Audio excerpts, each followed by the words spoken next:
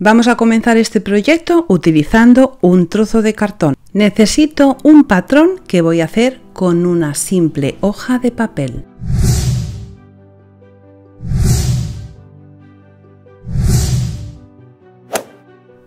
Marcando una línea central y media circunferencia que he hecho con un rollo de cinta adhesiva, hago esta forma en la parte de abajo y en la parte superior marco dónde va a estar la zona más alta y uno los dos lados. Lo vamos a hacer un poco a ojo. Esto es la forma de un jarrón. Cuando ya lo tengo así, lo que voy a hacer para que me salgan los dos lados iguales es doblar la hoja de papel justo por la línea que he marcado. Una línea divisoria que va a servir precisamente para que los dos lados salgan exactamente iguales. Una vez lo tengo doblado, solo tengo que cortar con la tijera la marca que he dibujado.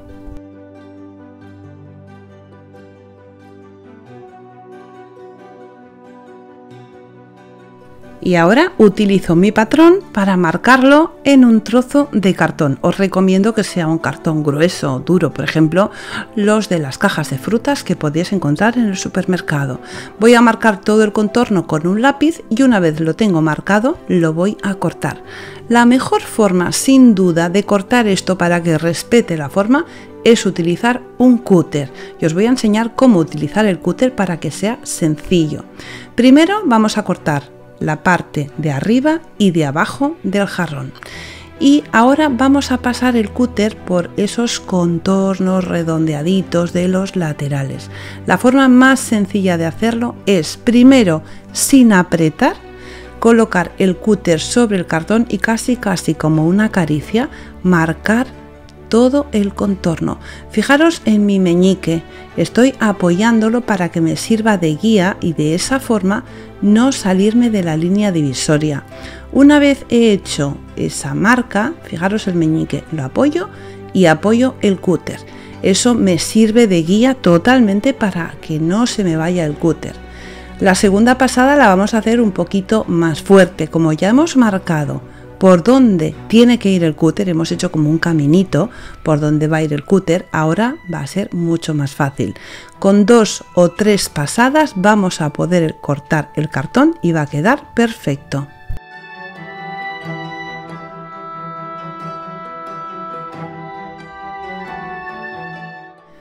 Ya tengo un lado cortado y hago el otro exactamente igual. Y no solamente hago un trozo, sino que hago dos.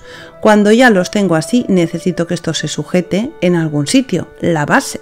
Para hacer la base he cortado un trozo de cartón rectangular y utilizando cola blanca que pongo en la base pego los dos trozos sobre el trozo de cartón y para que se sujeten sin que se junten y se aguanten rectos hacia arriba, bien tiesos, lo que hago es poner botes de pintura dentro y fuera.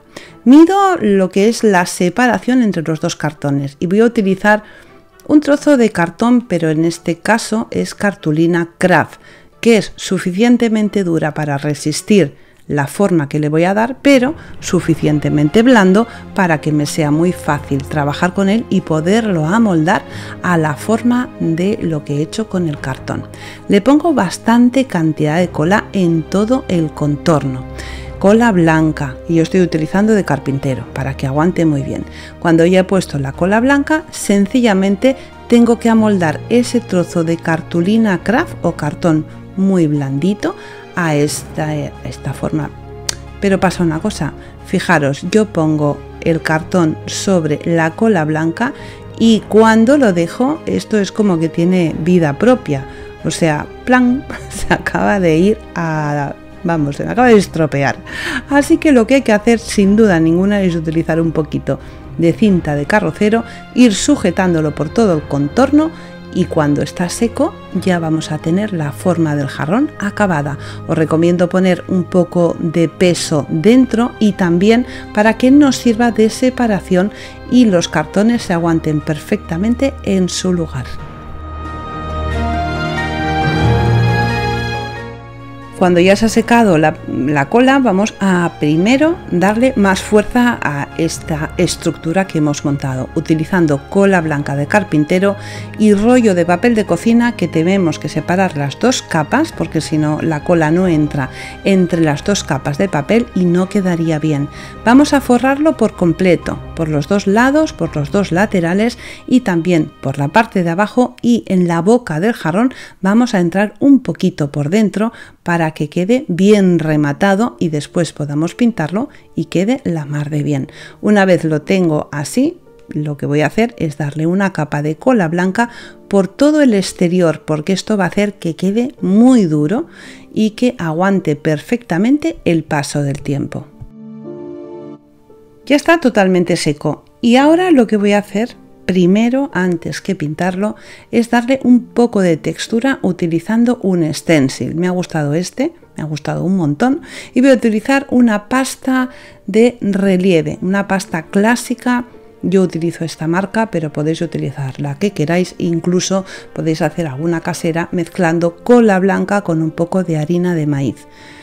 La verdad, sinceramente, prefiero utilizar esta porque voy mucho más rápida y el resultado me gusta mucho. Cuando la pasta se seca, lo pintamos. Yo he utilizado este color debajo del vídeo en la caja de información. Os voy a dejar todos los colores que he utilizado, que son importantes porque va a quedar muy bien a conjunto con el segundo trabajo que os voy a enseñar. He dado una base con un color neutro, es una especie de color arena un poco grisáceo. Y ahora voy a utilizar un verde, un rosa antiguo oscuro y un azul celeste. Voy a utilizar agua y voy a dar sobre la superficie con agua que he puesto en la superficie del jarrón, como antes he puesto la cola blanca y he puesto la pintura, hace de película impermeable y el cartón no se va a estropear.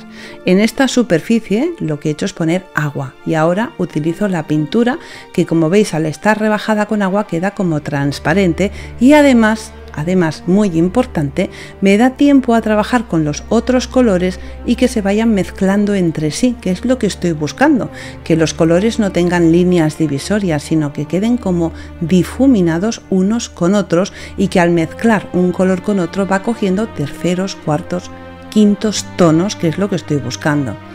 El rosa con el azul hace tonos liláceos, el verde con el azul y un poco de rosa hace tonos anaranjados. Al final queda súper bonito.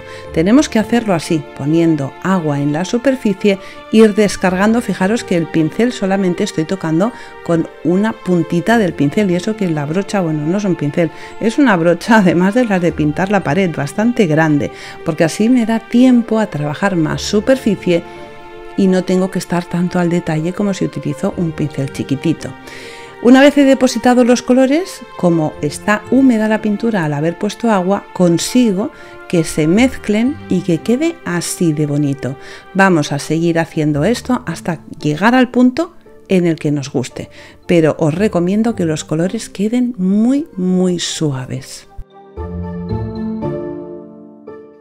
Ahora tenemos que esperar a que se seque del todo. Lo vamos a pintar por los cuatro contornos. Y una vez está completamente seco vamos a utilizar una lija. Yo recomiendo un taco de estos plano porque nos va a ser mucho más sencillo. Y vamos a comenzar a pasar la lija por la superficie para que nos salgan las formas que hemos hecho con la pasta de textura. Yo le he dado dos capas de pintura, la primera le di con más azul y ahora al lijar no me sale el blanco de la pasta, sino que se me ve azulado donde tenía la pasta. Queda precioso.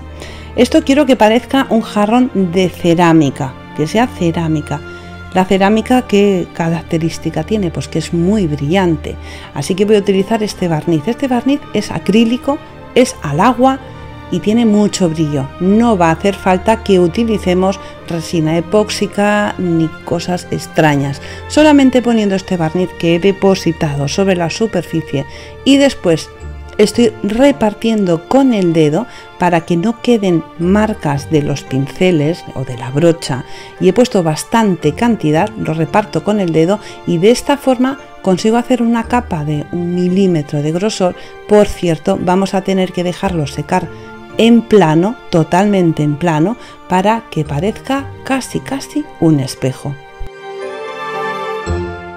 Vamos a hacer así las dos caras más grandes, pero los laterales no vamos a poder dejarlos planos porque no tienen forma plana, así que los laterales lo vamos a hacer con un pincel. Luego al final del vídeo vais a ver cómo queda de precioso, pero antes tengo que enseñaros el segundo trabajo que va a hacer conjunto con el primer trabajo. He utilizado un contrachapado de madera y he hecho esta forma tan bonita. La he cortado con una sierra de calar, lo he pintado en blanco con dos capas de pintura y he marcado un marco cuadrado dentro de la pieza. Este marco me va a servir para enmarcar el precioso papel que voy a utilizar. En la zona más ancha tiene unos 4 centímetros de separación entre el marco y la parte exterior y voy a utilizar este precioso papel, uno de los 12 nuevos diseños que he hecho en mi nueva colección en papel de arroz japonés. Este, bueno, todos me encantan, pero este es una auténtica preciosidad. Lo he llenado de detalles, hojas, flores, frases, tiene una referencia como estáis viendo, eh, lo vais a poder encontrar en tiendas de manualidades y os voy a dejar debajo del vídeo en la caja de información algún sitio donde podéis conseguirlo. El marco que he marcado, valga la redundancia, con lápiz en la madera, me va a servir para ahora delimitar el trozo de papel que quiero utilizar. Como es semi-transparente, como todos sabéis, eh, sencillamente lo coloco sobre la madera y marco con la regla el marco interior y voy a cortar el trozo que he marcado con un pincel con agua pasándolo justo por la línea y con los dos dedos pulgares voy sujetando los dos lados del papel para hacer el corte perfecto y que no se me vaya por donde no se tiene que ir.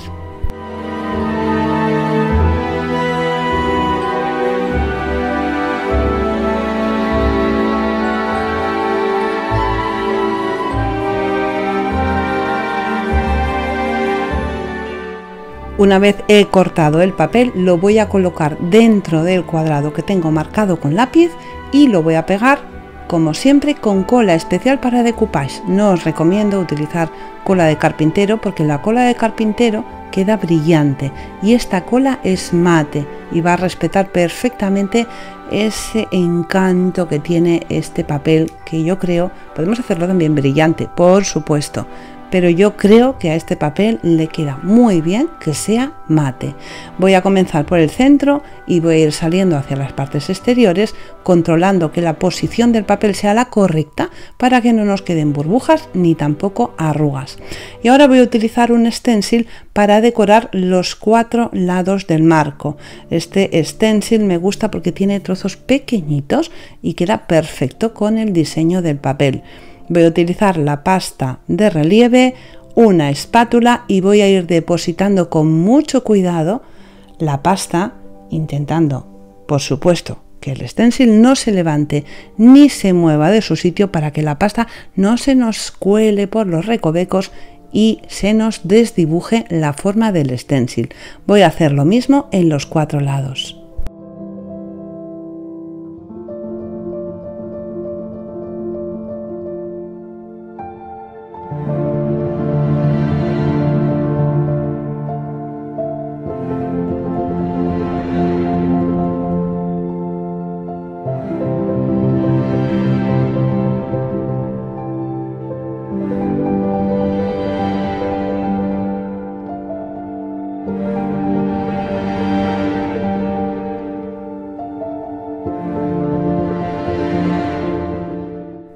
Cuando ya tengo los cuatro lados acabados y secos, vuelvo a utilizar esta pintura. Es la misma que he puesto antes en el jarrón en la base.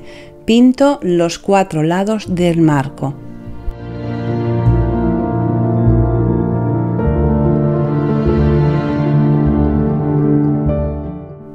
Y lo voy a pintar utilizando de nuevo los mismos colores de antes, un verde, un rosa antiguo y un azul. Pero en esta ocasión tenemos que fijarnos muy muy bien en el contorno del papel. Por ejemplo, he empezado con el verde. ¿Por qué? Porque este trozo, como estáis viendo, tiene unas hojitas en verde. Coloco agua, en esta ocasión no lo pongo sobre la base donde está el papel, lo coloco en la pintura que tengo en el cartón y me dejo el agua reservada al lado por si acaso la necesito para diluir la pintura en el caso de que sea necesario. Una vez he puesto el verde, continúo con el rosa. Deposito el color y después, cuando el pincel ya está menos cargado de pintura, voy haciendo mezclas sobre el propio marco.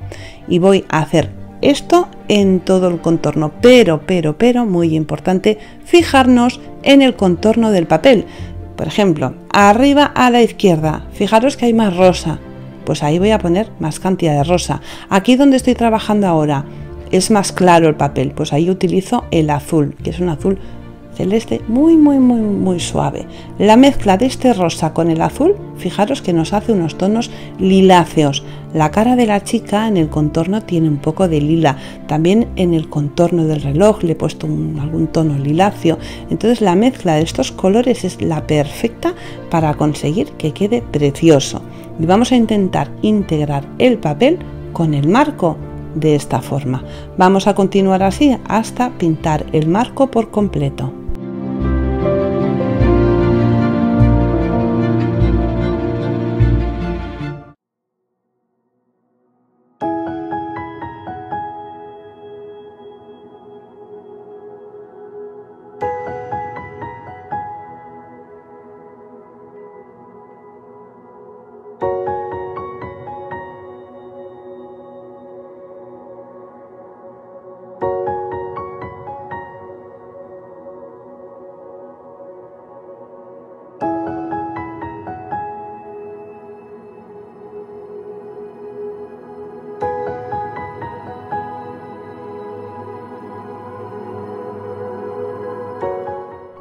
Si queremos hacer un trabajo de 10, tenemos que hacerlo de esta forma. Una vez he puesto esos colores, como podéis ver, todavía no está integrado del todo.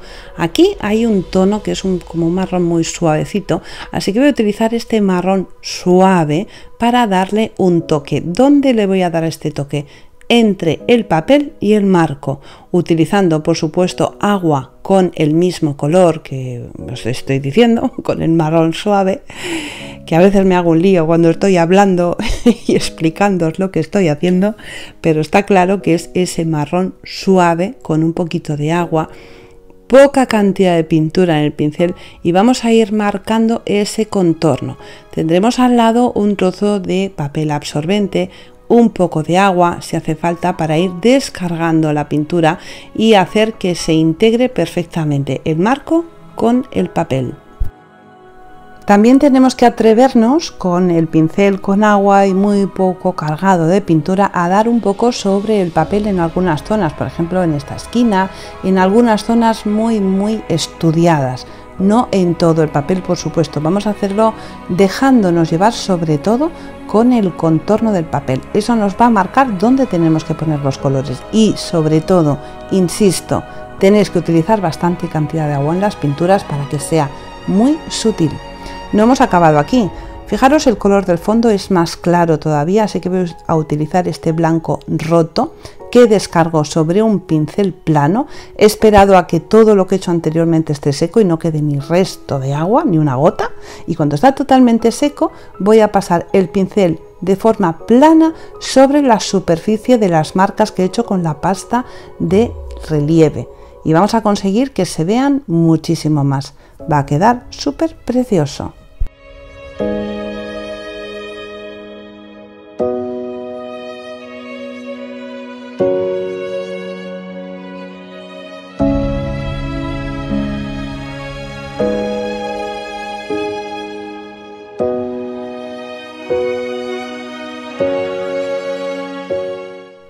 Con un poquito más de pintura en el pincel y sin agua voy a ir dando pequeños golpecitos donde me hace falta para integrar totalmente ya el marco con el contorno del papel.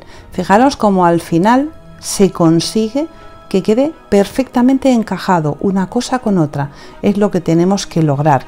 No se nos tiene que ver un color de golpe con una marca porque quedaría fatal. Tiene que quedar muy, muy suave y muy sutil. es la forma de que quede bonito. Aquí como estoy utilizando más cantidad de pintura y no estoy poniendo agua en el pincel, si veo que me he pasado, con el dedo seco le doy golpecito sobre la pintura para que se acabe de integrar.